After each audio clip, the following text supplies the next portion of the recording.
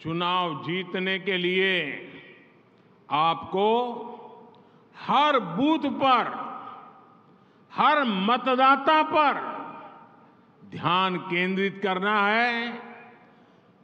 भरपूर मेहनत करनी है और हर शक्ति केंद्र पर मेहनत करनी है। आपके शक्ति केंद्र में जो भी लाभार्थी हैं उनसे आपका मिलना हो, आप उनसे नाम से बुलाएँ, उनके परिवार तक आप जाएँ, इसको आप सबसे पहले प्राथमिकता दीजिए। आपके पास, अपने क्षेत्र के सभी लाभार्थियों की लिस्ट ज़रूर होनी चाहिए। इस समय केरला में विकसित भारत संकल्प यात्रा चल रही है। इस यात्रा का लक्ष्य है कि केंद्र सरकार की विकास की योजनाओं से कोई छूटे नहीं।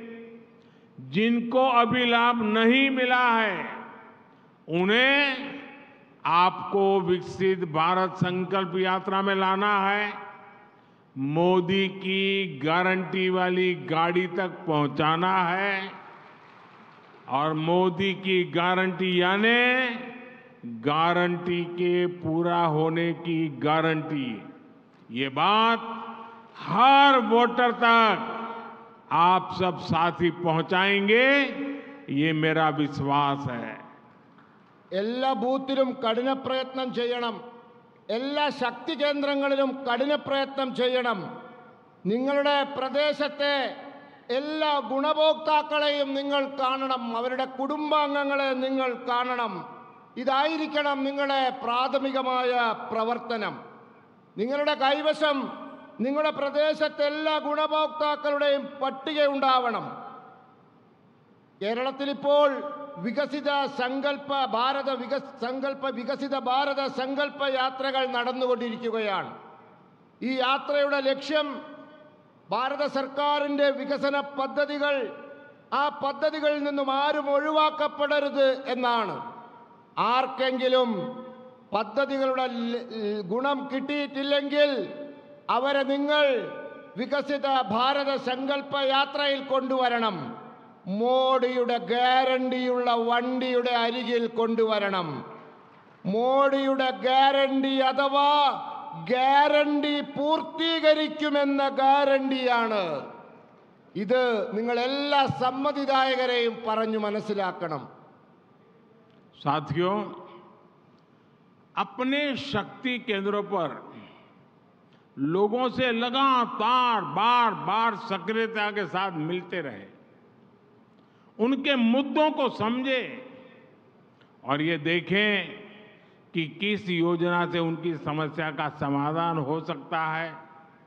आप अपने अपने शक्ति केंद्र में डिजिटल इंडिया के हर लाभार्थी से मिले, जिन्हें कॉमन सर्विस सेंटर मिला है, उनसे जरा बातचीत कीजिए। डिजिटल कंटेंट क्रिएशन से बड़ी संख्या में हमारे युवा जुड़े हैं और कमाई भी कर रहे हैं। उन्हें बताइए कि सरकार की योजनाओं से उन्हें कैसे लाभ मिला है रेडी फुटपाथ पर काम करने वाले साथियों के लिए पहली बार पीएम स्वनिधि योजना बनाई है ऐसे साथियों से भी रोज बात करनी चाहिए നിങ്ങളുടെ ശക്തി കേന്ദ്രങ്ങളിലെ ജനങ്ങളുമായി സജീവമായി ഇടപെടുക നിരന്തരമായി അവരുമായി സമ്പർക്കം ചെയ്യുക അവരുടെ പ്രശ്നങ്ങൾ മനസ്സിലാക്കുക. അതോടൊപ്പം ഏത് പദ്ധതി കൊണ്ടാണ് അവരുടെ പ്രശ്നങ്ങൾ പരിഹരിക്കാൻ പറ്റുക എന്ന് നോക്കുക. നിങ്ങൾ നിങ്ങളുടെ ശക്തി കേന്ദ്രയിലെ ഡിജിറ്റൽ ഇന്ത്യയുടെ ഗുണഭോക്താക്കൾ കോമൺ സർവീസ് സെന്ററുകൾ നടത്തുന്നവർ അവരുമായി ചർച്ച ചെയ്യൂ സംസാരിക്കൂ. ഡിജിറ്റൽ സംവിധാനങ്ങളിൽ ക്രിയാത്മകമായി പ്രവർത്തനം നടത്തുന്ന നമ്മുടെ യുവാക്കളുണ്ട്.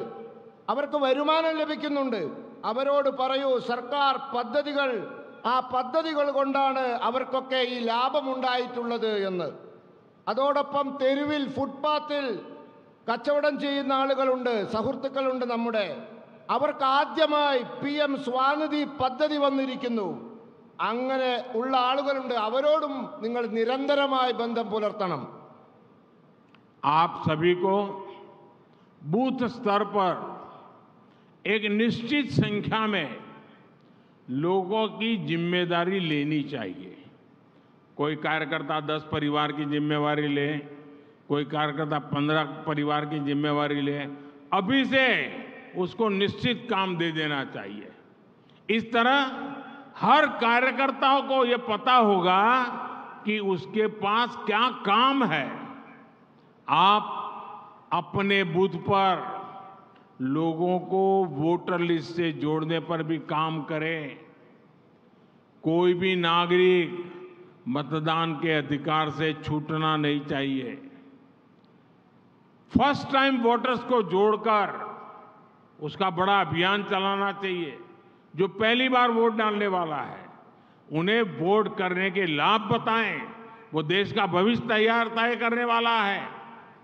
आप सभी ये ज़रूर निश्चित करें कि हर पात्र व्यक्ति उसका वोटर लिस्ट में नाम अवश्य होना चाहिए। ऐसे लोगों को हमने मदद भी करनी चाहिए। देश सेवा के कार्यों के लिए केंद्र सरकार ने देश का सबसे बड़ा युवा संगठन माय भारत भी बनाया है। आपने माय भारत पर जाकर के ऑनलाइन रजिस्ट्री करवानी चाहिए।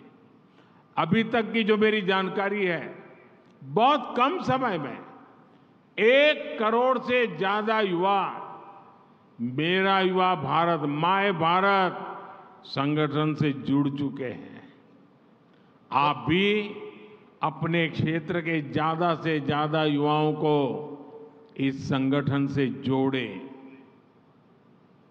നിങ്ങൾക്ക് ബൂത്ത് തലങ്ങളിൽ നിങ്ങൾ നിശ്ചിത എണ്ണത്തിലുള്ള ജനങ്ങളുടെ ഉത്തരവാദിത്തം ഏറ്റെടുക്കണം. ചിലർ പത്ത് കുടുംബങ്ങളുടെ എണ്ണം ഏറ്റെടുക്കാം ചിലർക്ക് പതിനഞ്ച് കുടുംബങ്ങളുടെ എണ്ണം ഏറ്റെടുക്കണം. അങ്ങനെ എല്ലാ പ്രവർത്തകർക്കും അവരവരുടെ ജോലി എന്താണെന്ന് കൃത്യമായി അറിയാൻ സാധിക്കണം അങ്ങനെ പ്രവർത്തിക്കണം. നിങ്ങൾക്ക് നിങ്ങളുടെ ബൂത്തുകളിലെ ജനങ്ങളെ വോട്ടർ പട്ടികയുമായി ബന്ധപ്പെടുത്താൻ സാധിക്കണം. വോട്ടർ പട്ടികയിൽ എല്ലാ വിഭാഗത്തിൽപ്പെട്ട ആളുകളും ചേരുന്നു. എല്ലാവർക്കും വോട്ടവകാശമുണ്ട് എന്ന് ഉറപ്പുവരുത്താൻ സാധിക്കണം. നിങ്ങൾ ആദ്യമായി വോട്ട് ചെയ്യാൻ പോകുന്ന കന്നി വോട്ടർമാരുമായി ബന്ധപ്പെട് ബന്ധപ്പെടണം.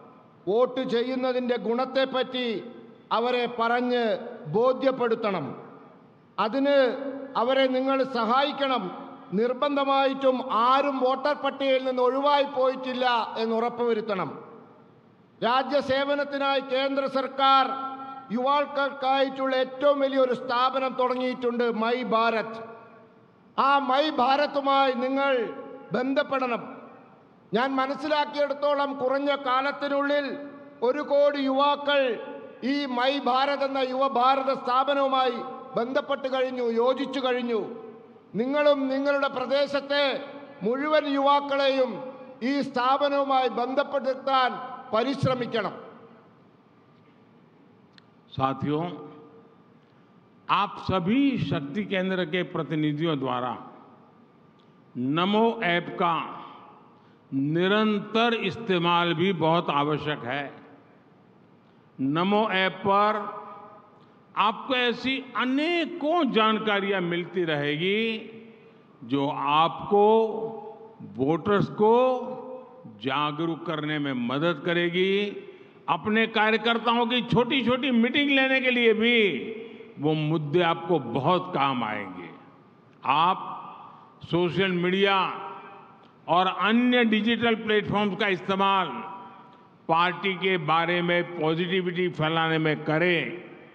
केंद्र सरकार की योजनाओं के बारे में लोगों को बताने के लिए करें आप इन सोशल प्लेटफॉर्म से अपने क्षेत्र के लोगों तक सीधे पहुंच पाएंगे നിങ്ങളെല്ലാ ശക്തി കേന്ദ്ര പ്രവർത്തകരും നമോ ആപ്പ് അത് നിരന്തരമായി ഉപയോഗിക്കണം നിങ്ങൾക്ക് വോട്ടർമാരെ ബോധവൽക്കരിക്കാൻ ആവശ്യമായ പ്രവർത്തകരുടെ മീറ്റിങ്ങിൽ പറയേണ്ടതായിട്ടുള്ള അനേകം വിവരങ്ങൾ നമുക്ക് ആ ആപ്പിൽ നിന്നും ലഭിക്കുന്നതായിരിക്കും.